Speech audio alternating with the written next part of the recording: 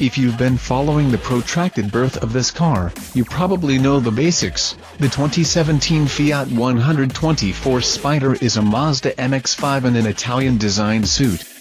It's built in Japan, and it was engineered by Mazda but sports a Fiat engine, shared bones, different philosophies, a quick Miata aside, when we found out the latest MX-5 had less power than the NC generation car that came before it, what got shouted down was the fact that it's significantly lighter, and it's also a damn riot to drive.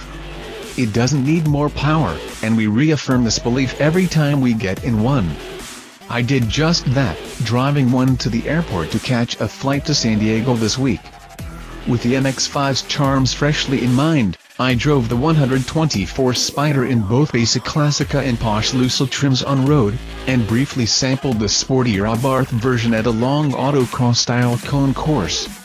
What I really wanted to know is how much Fiat character found its way into the latest evolution of the Japanese interpretation of the classic European roadster.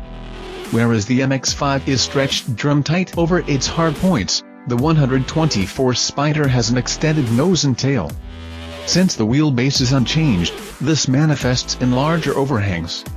To be generous, this body stretch increases the trunk space slightly and improves cooling to the turbocharged engine, which faces more significant heat management challenges than Mazda's 2.0-liter. It also gave Fiat's designers some room to incorporate scallops for the LED-equipped headlights that recall the sealed beams on the original Fiat 124 Spider from 1966 those iconic twin-power bulges on the hood, and an angular grille. Whether you consider the 124 to be attractive on its own, in comparison to the MX-5, or an appropriate homage to the original car is entirely subjective, but I'll weigh in with mixed feelings. Sharing a platform has its challenges, and recall that Fiat came into this development process late. This was supposed to be an Alfa Romeo, remember? How that affected the design process isn't clear, and no one would cop to it, but it seems that the Fiatization of the MX-5 didn't happen at a leisurely pace, nor on Fiat's terms. I think it's less handsome than the MX-5 in general, but in certain colors, and in the Abarth trim, it's a looker.